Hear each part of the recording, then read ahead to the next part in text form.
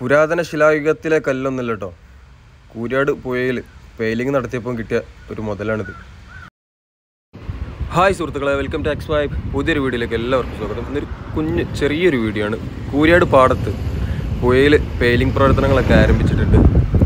അപ്പോൾ പെയിലിങ്ങിനിടയിൽ ഒരു കല്ല് കിട്ടിയിട്ടുണ്ട്. അപ്പോൾ ഈ പെയിലിംഗ് മെഷീൻ ഓപ്പറേറ്റ് ചെയ്യുന്ന വ്യക്തി നമ്മളെ കോൺടാക്ട് ചെയ്തതാണ്. ഇങ്ങനെ ഇങ്ങനെ ഒരു സംഭവം കിട്ടിയിട്ടുണ്ട് എന്ന് പറഞ്ഞിട്ടുള്ളത് ഇതാണ് ക്രെയിൻ ഓപ്പറേറ്റർ. തമിഴ്നാട് സ്വദേശിയാണ്. ഇവിടെ പെയിലിംഗ് ആരംഭിച്ചിട്ട് രണ്ട് ദിവസമായി. ഞാനിപ്പോൾ ഇത് വീഡിയോ ഷൂട്ട് ചെയ്തിട്ടുള്ള വെള്ളിയാഴ്ച രാവിലെ കേട്ടോ. വെള്ളിയാഴ്ച രാവിലെ പതിനൊന്നേ മുക്കാലിനാണ് ഇത് ഷൂട്ട് ചെയ്തിട്ടുള്ളത്. അപ്പോൾ ആ ഭാഗത്ത് പിയർ ക്യാപ്പിന്റെ പണികളൊക്കെ ആരംഭിക്കാൻ പോവുകയാണ്. പുഴയിലെ പെയിലിംഗ് വേഗത കൂട്ടാൻ ഈ ഒരു പദ്ധതിയായിട്ട് നടക്കുള്ളൂ. മണ്ണിട്ട് നികത്തുക എന്നിട്ട് ഹൈഡ്രോളിക് മെഷീൻ ഉപയോഗിച്ച് പെയിലിംഗ് നടത്തുക. മറ്റേ നമ്മളിപ്പോൾ മൂരാട് പുഴയിലും അതുപോലെ കോഴിക്കോട് കടൂർ റിസോർട്ടിന്റെ അടുത്തൊക്കെ മറ്റേ പെയിലിംഗ് ആണ് ജങ്കാറിലുള്ള പെയിലിങ്ങാണ് ഇത് വളരെ താമസമേറിയതാണ്. ഇത്ര പെട്ടെന്നൊന്നും ആയിത്തീരില്ല കൊപ്പം പുഴയിൽ മേഘ കമ്പനിയും അതുപോലെ വിശ്വസമുദ്ര കമ്പനിയൊക്കെ ഇത്തരത്തിലുള്ള രീതിയിലുള്ള പൈലിംഗ് ആട്ടോ നടത്തുന്നത്. അപ്പോൾ അതുകൊണ്ടൊക്കെ അവിടെയൊക്കെ പണി സ്പീഡുണ്ട്. അപ്പോൾ ഈ ഒരു പത്തർ ഇതിനടിയിൽ നിന്ന് പോകുന്നതാട്ടോ. ഏകദേശം ഒരു മീറ്റർ താഴ്ത്തിയപ്പോത്തിന് പാറ കണ്ടിട്ടുണ്ട്. നല്ല കരിമ്പാറ.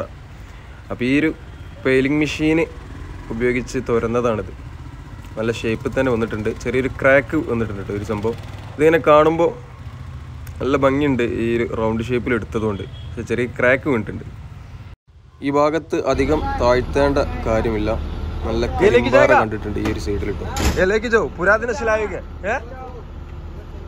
क्या करेगा उससे गले पे क्रैक हो गया ക്രാക്ക് हो गया ये बीसी बीसी को पहले का सामान है राउंड रहेगा तो कपड़ा तो नकली बढ़िया रहता है സഹി കൂരാട് പാടത്ത് വളരെ പെട്ടെന്ന് തന്നെ എല്ലാ പെയിലിങ്ങുകളും കഴിഞ്ഞിട്ടുണ്ട് കേട്ടോ കൂരാട് പാലത്തൊക്കെ ഫൗണ്ടേഷൻ്റെ പണികൾ തുടങ്ങിയിട്ടുണ്ട് പെയിലിംഗ് ഒക്കെ കഴിഞ്ഞിട്ടുള്ളത് അപ്പം ഈ ഒരു ഭാഗത്ത് പുഴ കുറച്ച് ഭാഗം മാത്രമാണ് തുറന്നിട്ടുള്ളത് വളരെ ചെറിയ ഒരു പുഴയാണ് കടലുണ്ടി പുഴ കേട്ടോ ഈ കാണുന്നത് ഈ ഒരു മുതലാട്ടോ അത് പൊക്കിയെടുത്തത് ഇതിൻ്റെ ഉള്ളിൽ അതങ്ങനെ കുടുങ്ങിക്കിടുന്നതെന്നാണ് ഇപ്പോൾ നോക്കുന്നത് ഈ പല്ല് ഉപയോഗിച്ച് അത് കട്ട് ചെയ്യണ്ട് ഇതിലെന്താ ബുള്ളറ്റോ ബുള്ളറ്റ് എന്താ ഉണ്ട് ഈ പൈലിംഗ് മെഷീൻ ബുള്ളറ്റ് എന്താണെന്ന് അറിയുന്നവരൊന്ന് കമന്റ് ചെയ്യണേ.